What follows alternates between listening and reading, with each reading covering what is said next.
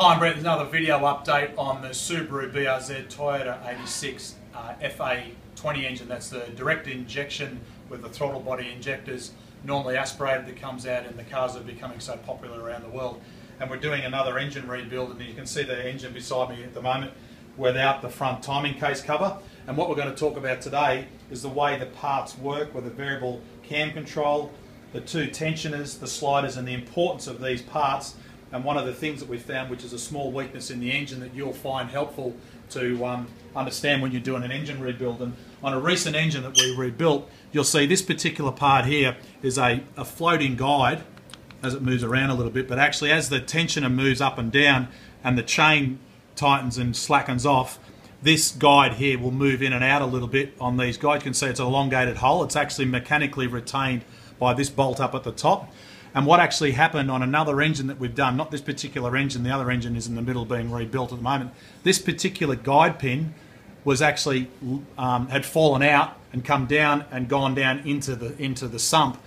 And then what had happened is this part here um, on the tensioner had been causing the chain to not always be retained nice and neatly and tightly on the crankshaft and the variable cam control. And we suspect that was possibly the cause of the reason for it uh, dropping a rocker arm and eventually punched the rocker arm out through the rocker cover um, casting and did some damage to the camshaft and the cradle as well.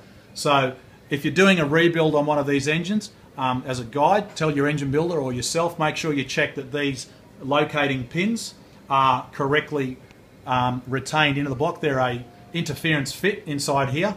Um, we have no idea how or why they come out. We've spoken to Subaru. They don't even know why. It must be hopefully just a random problem that happens every now and then. But whilst we've got this apart, it's a good opportunity to see how it all works. So you've got a, a cam chain tensioner here, another cam chain tensioner here, and the two chains that drive the inlet and exhaust variable cam control. Inside here there's a lot of delicate parts that you need to be aware of if you're doing an engine rebuild with possibly a damaged uh, big end bearing that can get full of metal particles that in long term will cause problems with um, the way that works from an oil pressure point of view because it's fed by oil pressure from the engine. And you'll remember we spoke about the timing cover that go to the front here, which this part here drives the oil pump that then feeds these um, oil pressure galleries and O-rings to, into the engine and then for the rest of the uh, oil pressure to control the variable cam control and of course the vital oil that then goes to the cams, the cam journals, the crank and also the bottom of the engine everywhere else.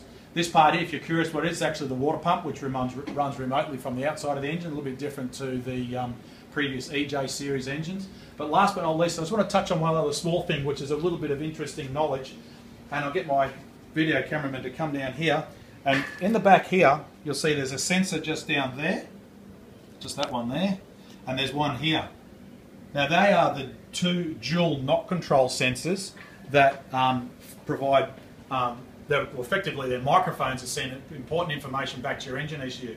If you're doing an engine rebuild on these, it's critical that they are refitted at the right angle to work in harnessing the noise that they obviously measure inside the engine. Subaru are very, very specific on their uh, engine rebuild notes for the actual angle that that needs to be done up. So if you're doing an engine rebuild, don't just throw it all back together. They will fit at any angle because they've just got a retaining bolt in them for the microphone to bolt onto the head little tip there, make sure that you put them back at the right angle as per the factory engine rebuild notes.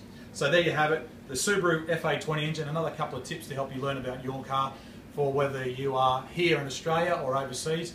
You can follow us on Facebook, YouTube, Twitter and Instagram. I'll send some digital uh, photos that you can find at the link of this video channel to our Facebook page to understand more about what these parts look up close up.